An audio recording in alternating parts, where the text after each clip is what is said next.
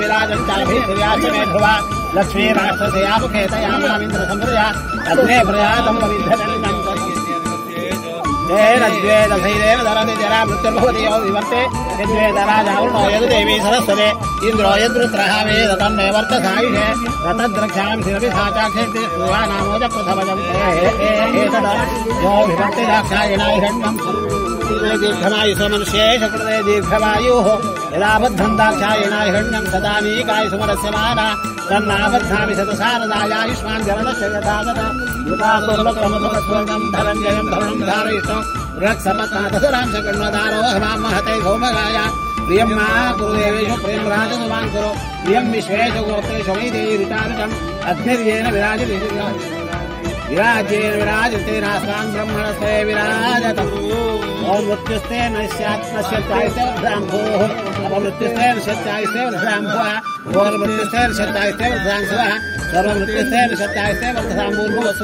सर्वा मृत्योर्बाध्यन्ते आयुषं देवदेहि चतुर्भुजाय देवाय सर्वेषाय अभयंकर महादेव त्रायमा जन्म मृत्यु जरा व्याधि पीड़ित कर्म बंधन तछंजाराग्निम है गातुम विघ्नाय गातुम विघ्नमते दैवे सत्यरसन सत्यमानुषेभ्य ऊर्ध्वं जातो हे जयं शन्नाभक्ति भुवदेशं चतुर्थ ओम शांति शांति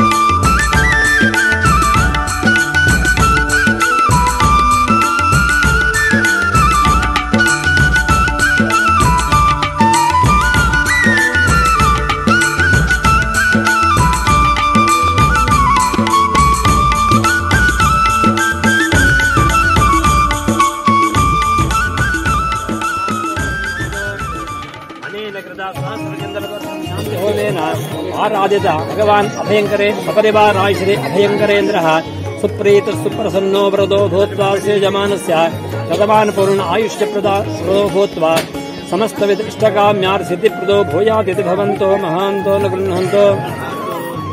अस्मात् यजमानात् शोकप्रभृतितापत्रयात् आदिव्यादयो दूरे वरे वृत्यन्तामिति भवन्तो न गृह्णन्तो। अस्य श्रीमन्तो धीमन्तः, कान्तिवन्तः, कीर्तिवन्तो, दयावन्तः, सत्यवन्तो, दीर्घायुष्मन्तः। पाराधीराः, शूराः, कुमाराः, भूयासुरति भवन्तो, महान्तो नृह्णन्तो अस्मिन् यजमाने लावण्य तारुण्यकारुण्यवरेण्यवदादया सर्वे सद्गुणाः सम्मिलिताः सन्तः समुज्जरम्भन्तामिति भवन्तो, महान्तो नृह्णन्तो अस्मै यजमानाय पौलस्त्य वैरोचनि मारुति मार्कण्डेय पाराशर्य जामदग्न्याधिरपि वृद्धिप्रदो भूयादिति भवन्तो महान्तो गृह्णन्तो। अस्य यजमानस्य गृहे वेदोक्तमायुष्यं परिपूर्णं भूयादिति भवन्तो महान्तो गृह्णन्तो। एवं सर्वे जनाः सुखिनो भवन्तु। समस्तसन्मङ्गलानि भवन्तु। आविवासेन भवताधारं भवेद्या देवेभ्यो नमैषेषाञ्जनो नमसाविवासे सर्वेभ्यो ब्राह्मणेभ्यो नमः यजमानकृतसमाराधनं सर्वं सम्पूर्णमस्त्युत्यनु गृह्णर्वं सम्पूर्णमस्तु यजमानकुलं वा चन्द्रार्कमंशाभिवृद्धिरस्तु सद्यः एव क्रियमाण अन्नदानकल्पोक्तफलादाब्धिरस्तु आयुर्दा अग्ने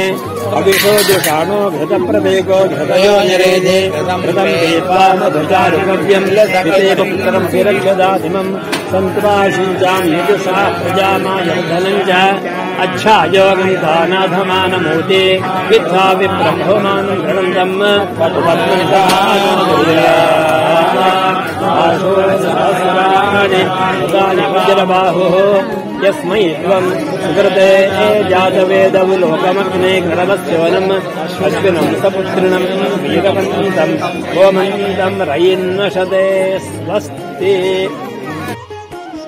ಯಜಮಾನಸ್ಯ ಸತ್ಯಾಸ್ ಸಂತು ಯಜಮಾನಸ್ಯ ಕಾಮಾಹ ಅಂತ ಯಾವುದೇ ಯಜಮಾನನ ಮನಸ್ಸಿನ ಕಾಮನೆಗಳಿದೆ ಅದೆಲ್ಲವೂ ಸತ್ಯವಾಗಲಿ ಅಂತ ಮಂತ್ರದಲ್ಲಿ ಹೇಳಿದ್ದೇವೆ ಆದರೂ ಸಹ ಲೌಕಿಕೋಕ್ತಿ ಒಂದು ಪೂರ್ವ ಭಾಷೆಯಲ್ಲಿ ಹೇಳುವಂತಹದ್ದು ಸಹಸ್ರ ಈ ಶತಮಾನ ಅಂತ ಹೇಳುವಂತಹದ್ದು. ಇಲ್ಲೀಗ ನಮಗೆ ಅವರಿಗೆ ಎಂಬತ್ತನೇ ವರ್ಷ. ಇಲ್ಲಿ ಶಾಸ್ತ್ರದಲ್ಲಿ ನಮ್ಮಲ್ಲಿ ಎಂಬತ್ತೆರಡನೇ ವರ್ಷ ತಗೊಂಡು ಹೋಗ್ತಾರೆ ನಮ್ಮೂರಲ್ಲೆಲ್ಲ ಎಂಬತ್ತೊಂದು ಹತ್ತು ತಿಂಗಳಂತಾರೆ. ಅದರ, ಆದರೆ ಶಾಸ್ತ್ರ ಪ್ರಕಾರದಲ್ಲಿ ಎಂಬತ್ತನೇ ವರ್ಷಕ್ಕೆ ಮಾಡಬೇಕು ಅಂತ ಹೇಳಿ ಯಾಕೆ ಕೇಳಿದ್ರೆ, ಅಲ್ಲಿ ಎಂಬತ್ತನೇ ನಮ್ಮ ಗ್ರಹಣ ಅಂತ ಹೇಳುವುದು ಬರ್ತದಲ್ಲ. ಗ್ರಹಣದಲ್ಲಿ ನಿಮ್ಮ ಶುದ್ಧ ದರ್ಶನ ದರ್ಶನ ಮಾಡ್ತೀವಿ ಶುದ್ಧನ, ಶುದ್ಧ ಚಂದ್ರನ ದರ್ಶನ ಮಾಡ್ತೀರಲ್ಲ, ಅದನ್ನು ಸಹ ಗಣನೆ ತಗೊಳ್ಬೇಕಂತೆ ಆ ನಂತರದಲ್ಲಿ ಅಧಿಕ ಮಾಸ ಅಂತ ಬರ್ತದೆ. ಅದನ್ನು ಗಣನೆಗೆ ತಗೊಳ್ಬೇಕಂತ. ಅದೆಲ್ಲ ಗಣನೆ ತಗೊಂಡಾಗ ಅಲ್ಲಿ ಇಪ್ಪತ್ನಾಲ್ಕು ಮತ್ತೊಂದು ಇಪ್ಪತ್ತೆಂಟು, ಅದು ಇದಕ್ಕೆ ಸೇರಿದವಾಗ ಎಂಬತ್ತನೇ ವರ್ಷಕ್ಕೆ ಸಹಸ್ರ ಚಂದ್ರ ದರ್ಶನ ನಿಮಗೆ ಆಗ್ತದೆ ಅಂತ ಹೇಳಿ ಹೇಳ್ತಾರೆ. ಹಾಗಾಗಿ ಏನೇ ಇರಲಿ, ಅವರು ವೈದಿಕರು, ಅವರ ತಂದೆ ಕಾಲದಿಂದ ನನ್ನನ್ನು ಹೊತ್ತು ತಿರುಗಿದವರ, ತಂದೆ, ತಮ್ಮೈತಾಳ್ರು. ಹಾಗಾಗಿ ಈ ಮನೆಗೂ ನನಗೂ ಒಂದು ನಿಕಟವಾದಂಥ ಸಂಬಂಧ ಇದೆ. ಕರೆದಾವಾಗ ಬರಬೇಕಂತ ಮನಸ್ಸು ಎಳೀತದೆ ಇಲ್ಲಿಗೆ. ಬಾಲ್ಯದಿಂದ ನನ್ನನ್ನು ಪಾಲಿಸಿದವರು ಅವರು. ಹಾಗಾಗಿ ಅವರಿಗೆ ದೇವರು ಈಶ್ವರಾರಾಧಕರು ಮತ್ತೆ ಉಮಾಮಹೇಶ್ವರನ ಆರಾಧನೆ ಮಾಡುವರು. ಯಾರು ಈಶ್ವರನ ಆರಾಧನೆ ಮಾಡ್ತಾರೆ, ನಿತ್ಯ ರುದ್ರಾಭಿಷೇಕ ಮಾಡ್ತಾರೆ, ಅವರನ್ನ ಆ ಭಗವಂತ ರುದ್ರನೇ ಕಾಪಾಡ್ತಾನೆ, ಅವರಿಗೆ ಆರೋಗ್ಯವನ್ನ, ಆಯುಷ್ಯವನ್ನು ಕೊಡ್ತಾನೆ ಅಂತ. ಅವರಿಗೆ ಕೇಳ್ಕೊಂಡಿದ್ದಷ್ಟು. ಕೊನೆಯವರೆಗೆ ನನ್ನ ಸ್ವತಂತ್ರದಲ್ಲಿ ಇರಬೇಕು ಅಂತ. ಆ ದೇವರು ಅವರ ಯಾವ ಇಚ್ಛೆ ಇದೆ, ಅದನ್ನ ಪರಿಪೂರ್ಣವಾಗಿಗೊಳಿಸಲಿ ನಮ್ಮ ಮನುಸ್ಮೃತಿಯಲ್ಲಿ ಹೇಳ್ತದೆ ಬ್ರಾಹ್ಮಣಸ್ಯ ಜದೇಹೋಯಂ ಕ್ಷುದ್ರ ಕಾಮಾಯ ನೇಷತೆ ಕೃಚ್ಛ್ರಾಯ ತಪಸೆ, ಪ್ರೇತ್ಯ ನಂತರ ಸುಖಾಯ ಈ ಬ್ರಾಹ್ಮಣರ ದೇಹ ಬರೀ ಕ್ಷುದ್ರ ಕಾಮನೆಗಳಿಗಾಗಿ ಬಂದದ್ದಲ್ಲ. ನಾವು ಸಾಧನೆ ಮಾಡಬೇಕು, ನಾವು ತಪಸ್ಸು ಮಾಡಬೇಕು, ಆ ಭಗವಂತನ ಆರಾಧನೆಯಲ್ಲಿ ತನ್ಮಯರಾಗಿ ಅದರಲ್ಲಿ ನಾವು ತೊಡಗಿಕೊಳ್ಳಬೇಕು ಅಂತ ಹೇಳಿ ಹೇಳ್ತಾನೆ ಮನು ಮನು, ನಮ್ಮ ಮೂಲ ಪುರುಷ.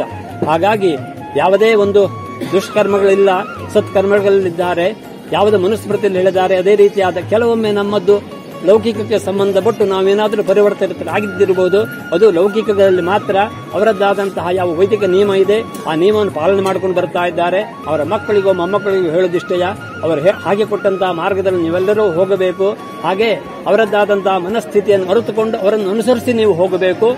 ಈ ಕಿರಿಯರಲ್ಲಿ ಇರುವುದೇನು ಗುಣ ಕೇಳಿದ್ರೆ, ಹಿರಿಯರನ್ನ ಅನುಸರಿಸುವಿಕೆ. ಅವರಿಗೆ ಏನು ಬೇಕು ಏನು ಬಯಸ್ತಾರೆ ಅಂತ. ಅವರಿಗೆ ವಿರುದ್ಧವಾಗಿ ಆಗಿದ್ದಲ್ಲಿ ಎಂಬತ್ತು ವರ್ಷ ಆಯ್ತು ಅವರಿಗೆ. ಎಂಬತ್ತನೇ ವರ್ಷದಲ್ಲಿ ಮಕ್ಕಳ ಬುದ್ಧಿ ಬರುತ್ತದೆ ಅಂತ ಹೇಳಿ ಒಂದು ಶಾಸ್ತ್ರ ಇದೆ. ಹಾಗಾಗಿ ಮಕ್ಕಳ ಬುದ್ಧಿ ಏನು ಕೇಳಿದ್ರೆ ಮಕ್- ಮಕ್ಕಳಿಗೆ ಕೊಡ್ತೀರಿ ಕಬ್ಬು ಕೊಡ್ತೀರಿ ಅದು ತುಂಡು ಮಾಡಿ ಕೊಡು ಹೇಳ್ತಾವೆ. ತುಂಡು ಮಾಡಿದ ನಂತರ ಕೂಡಿಸಿ ಕೊಡು ಹೇಳ್ತಾವೆ. ಹಾಗೆ ಆ ರೀತಿಯಾದಂತಹ ಮನಸ್ಸು ಕೆಲವೊಮ್ಮೆ ಏನಾಗುತ್ತೆ? ವೈಕಲ್ಯಕ್ಕೆ ತಿರುಗುತ್ತದೆ. ನಾವು ಇವತ್ತು ಮಾಡಿದ ಶಾಂತಿಯೂ ಅಷ್ಟೇ. ಕೆಲವಷ್ಟು ದುರಿತಗಳು, ದುಷ್ಟಗಳು ಅರಿಷ್ಟಗಳು ಸಂಭವಿಸುವಂತಹ ಸಂದರ್ಭ ಇರುತ್ತದೆ. ಆ ಸಂದರ್ಭಗಳನ್ನ ಈ ಶಾಂತಿ ಮೂಲಕವಾಗಿ ಅಭಯಂಕರೇಂದ್ರ ಅದನ್ನು ನಿವಾರಣೆ ಮಾಡಬೇಕು, ನಮಗೆ ಅಭಯವನ್ನು ಕೊಡಬೇಕು. ಹಾಗೆ ನಮ್ಮ ಜೀವನದಲ್ಲಿ ಮುಂದೆ ಉತ್ತರೋತ್ತರವಾಗಿ, ಆರೋಗ್ಯಪೂರ್ಣರಾಗಿ, ಆಯುಷ್ಯಪೂರ್ಣರಾಗಿ ಸಹಸ್ರ ಶತಮಾನ ಪೂರ್ಣರಾಗಿರುವಂತಹ ಯೋಗವನ್ನು ಕೊಡಬೇಕು ಅಂತ ನಾವು ಇವತ್ತು ಹೋಮ ಮಾಡಿದ್ದು. ಆ ಹೋಮದಲ್ಲಿ ಮಾಡಿದಂತಹ ಆಹುತಿಗಳನ್ನೆಲ್ಲ ಸಹಸ್ರೋಪಾದಿಯಲ್ಲಿ ಆ ಭಗವಂತನ ಸ್ವೀಕರಿಸಲಿ. ಆ ಅಭಯಂಕರೇಂದ್ರನು ಇವರಿಗೆ ಅಭಯವನ್ನು ಕೊಟ್ಟು, ಆಯುಷ್ಯವನ್ನು ಕೊಟ್ಟು, ಶತಮಾನ ಪೂರ್ಣರಾಗಿ ಬಾಳುವಂತಹ ಆರೋಗ್ಯಪೂರ್ಣರಾಗಿ ಬಾಳುವಂತಹ ಯೋಗವನ್ನು ಕೊಡಲಿ. ಆ ಮಕ್ಕಳಿಗೆಲ್ಲರಿಗೂ ಸಹ ಉತ್ತಮವಾದಂತಹ ವೈದಿಕ ಸಂಸ್ಕಾರಗಳನ್ನು ಕೊಡಲಿ. ಮನೆಯ ಈ ತಮ್ಮೈತಾಡರ ಮನೆ ಹೇಳುವಂತಹದ್ದು ಸೂರ್ಯಚಂದ್ರರು ಬೆಳಗುವಂತಾಗಲಿ ಅಂತ ತುಂಬು ಹೃದಯದಿಂದ ಅವರಿಗೂ ಅವರ ಕುಟುಂಬ ವರ್ಗಕ್ಕೂ ಸಹ ಎಲ್ಲ ಋತುವಿಜರು ಸಹ ಆಶೀರ್ವಾದ ಮಾಡುತ್ತಾರೆ